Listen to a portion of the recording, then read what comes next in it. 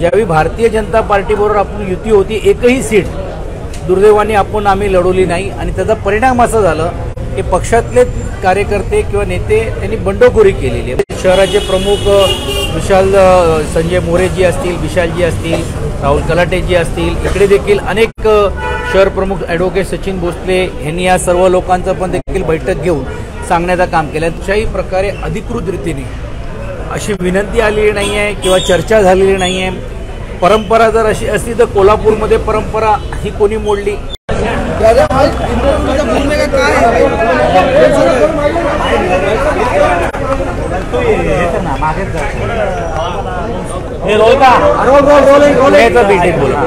एक पुण्यासंदर्भात बैठक झाली पोटनिवडणुकीच्या संदर्भात उद्धव साहेब देखील होते.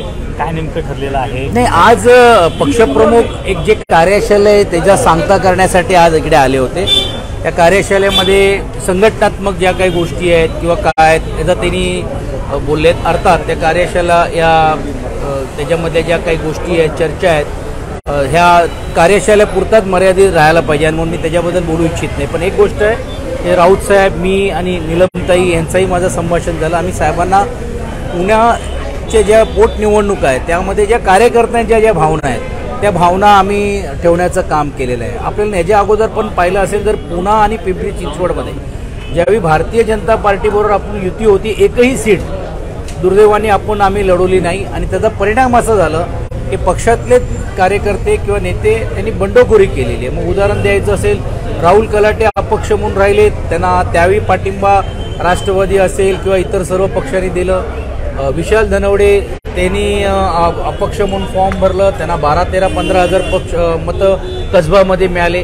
ती पूर्णवृत्ती होता कामा नाही कारण शेवटी ज्यावेळी काँग्रेस आणि एन सी पी हे जे अगोदरच जिल्ह्यामध्ये मोठ्या प्रमाणावरती आमदार आहेत आणि जिकडे भारतीय जनता पार्टीचे आमदार जिकडे ऑलरेडी निवडून आलेत जे दुर्दैवाने आता जे रिक्त झालेले आहेत किमान तिकडे तरी आपला दावा असलं पाहिजे. ही पक्षाकडे आम्ही भूमिका आम्ही मांडली. आमच्याकडे अर्थात खूप इच्छुक आहेत. शहराचे प्रमुख विशाल संजय मोरेजी असतील विशालजी असतील राहुल कलाटेजी असतील इकडे देखील अनेक शहर प्रमुख ॲडव्होकेट सचिन भोसले यांनी या सर्व लोकांचं पण देखील बैठक घेऊन सांगण्याचं काम केलं. ते आम्ही आमच्या नेतृत्वाला सांगण्याची भूमिका आपण घेतली आणि आपल्याला राऊत साहेबांनी सांगितलं की ही भूमिका आम्ही देखील पक्षाच्या माध्यमातून महाविकास आघाडीमध्ये ठेवण्याचं काम केलेलं आहे. चर्चेच्या माध्यमातून की दोन्हीपैकी किमान एक जागा तरी शिवसेना पक्ष लढू इच्छितात ही भूमिका आमची मुख्यमंत्र्यांकडून मुख्यमंत्र्यांकडून असं म्हटलं जातं की ही निवडणूक जी आहे ती बिनविरोध व्हावी अशी त्यांच्याकडून अजून. अजून अजूनपर्यंत त्यांच्याकडनं कुठच्याही प्रकारे अधिकृत रीतीने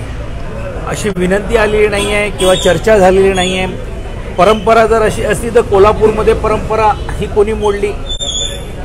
अंधेरीमध्ये ती परंपरा आपल्याला माहीत आहे की उमेदवारीचं अर्ज भरलं आणि आमचा उमेदवाराचा फॉर्म आम्हाला कोर्टात जाऊन द्यावं लागलं. तोपर्यंत त्यांनी ते विड्रॉ केलं नाही. मग फॉर्मच भरायची गरज नव्हती. तर परंपरा ती जर परत ठेवायची असेल तर नक्की त्याची चर्चा होऊ शकते. पण ती चर्चा पक्षप्रमुख आदरणीय उद्धवजी ठाकरे साहेबांबरोबर व्हायला पाहिजे. महाविकास आघाडीच्या घटकांकडे व्हायला पाहिजे.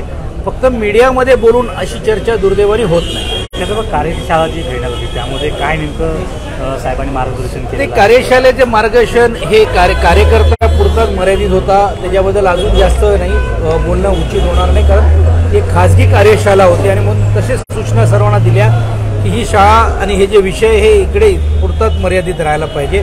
पण अत्यंत उत्तम संपूर्ण जिल्ह्यातल्या आणि विशेषतः मतदारसंघानिहाय कार्यकर्त्यांनी याला प्रोत्साहन दिला. सुभाष देसाईजी असतील त्यांच्या अध्यक्षाखाली ही जी टीम असेल एक चांगली कार्यशाला आहे नेमकं प्रबोधन खर ठाकरे साहेबांची भूमिका काय होती? नेमकं कशा प्रकारे त्यांनी आतापर्यंत आदर पक्षप्रमुखांनी जे केलेलं काम आहे या सर्वाची गाथा या कार्यशाळेतला एक भाग म्हणून देखील सांगण्याचं काम केलेलं आहे.